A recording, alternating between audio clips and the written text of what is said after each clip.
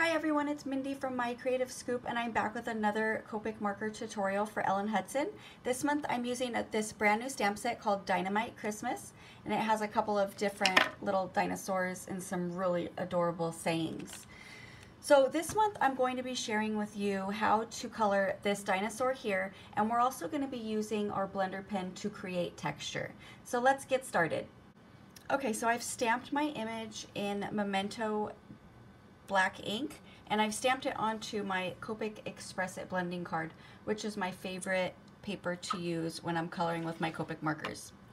So the color combination that we're going to be using is YG67, YG63, YG61, and of course the zero, which is the colorless blender. I'm going to start with my YG67 and I'm going to go ahead and put down color where all the shadows should be. So since the dinosaur's neck is turned, I want to create a shadow right underneath his face and coming down the side of his neck. Also a little bit coming up from the bottom of his neck and all along the bottom of his belly, on the back part of his little legs there. And then the back leg is going to be pretty much fully colored in with the darker color since it's behind and it's on the inner part of the leg we want to show that the that there's a shadow right underneath the on the inside parts of the legs. Also going to make a little shadow going underneath the tail. And then I'm just going to make this a little bit thicker.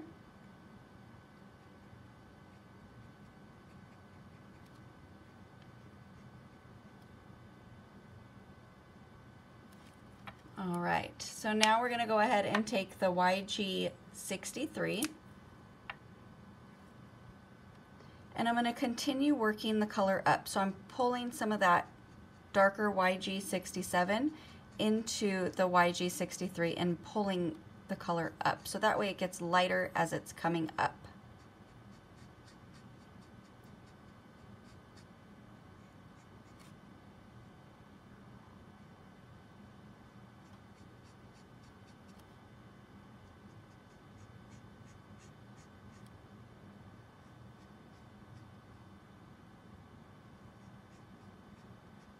So I'm really going to go a, a lot thicker just so there's just a little bit left for the YG61 for that really light color.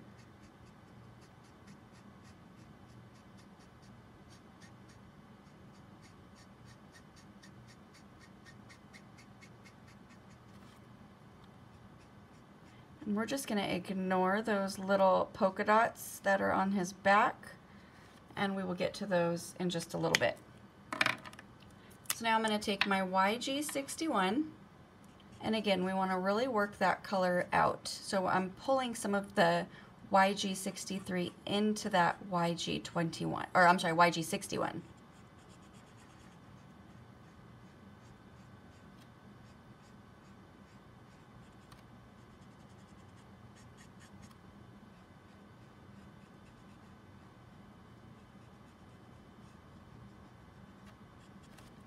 Okay, so still a little blotchy, so I always like to go back and add a second coat. Sometimes you need to add that second coat in order to really get those colors moving on the paper and blending and mixing together. So I'm just going back to touch up where I have those shadowed areas. And we're re-adding those darker shadowed areas back in since going over them a few times with the lighter color has a tendency to kind of wash it out. And then now with my YG63,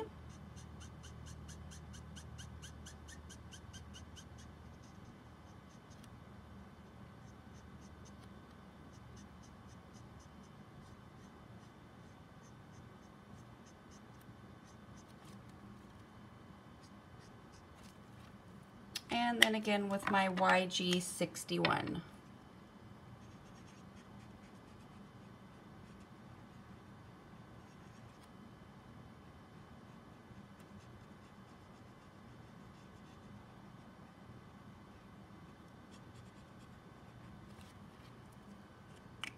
Okay, so now for those little spots on his back, let's go back with our YG67.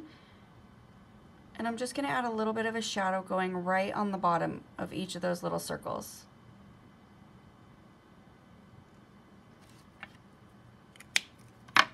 And then I'm going to take my YG63 and just give a little flick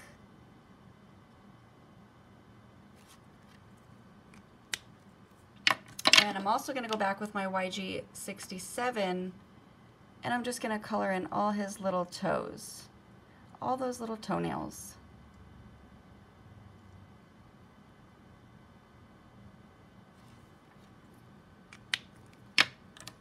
Okay, so now with the colorless blender, we want to create a scaly look to our dinosaur. So what I'm gonna do is I'm just gonna lay the nib of the blend of the colorless blender down in certain spots and I'm just going to leave it there for a few seconds so that way the ink really runs out and it really creates that circle for that texture.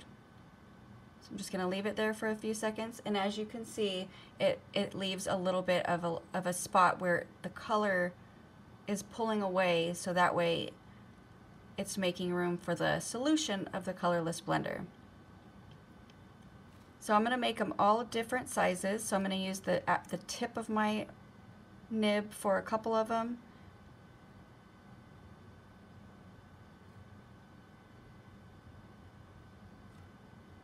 And then I'll lay my nib out a little bit more to make a little bit of a larger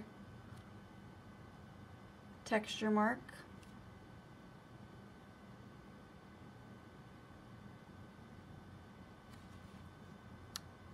So I'm really focusing on the back and a little bit underneath. Notice I'm not leaving the marker or the nib of the colorless blender on the bottom part very long, as long as I did up here. And that's partially because it's darker down here, so it's not going to take as much ink to start spreading it out to, to give it that effect. And up here's a little bit lighter, so you need to leave the nib on there just a little bit longer. So I'm also going to go ahead and add a little bit of texture up here on his face.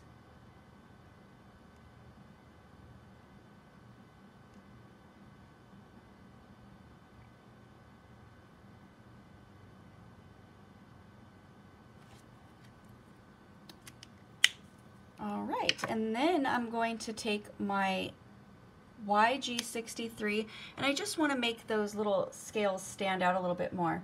So let's zoom in a little bit more. And right along the bottom, I'm just going to give a little trace.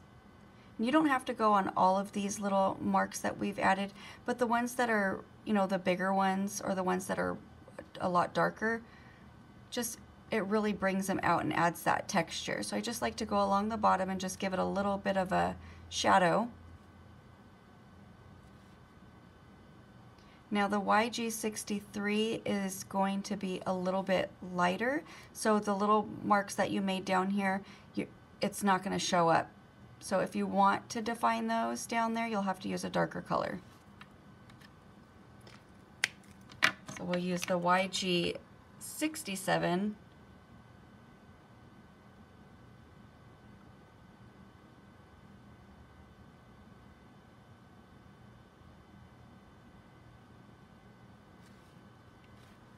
All right.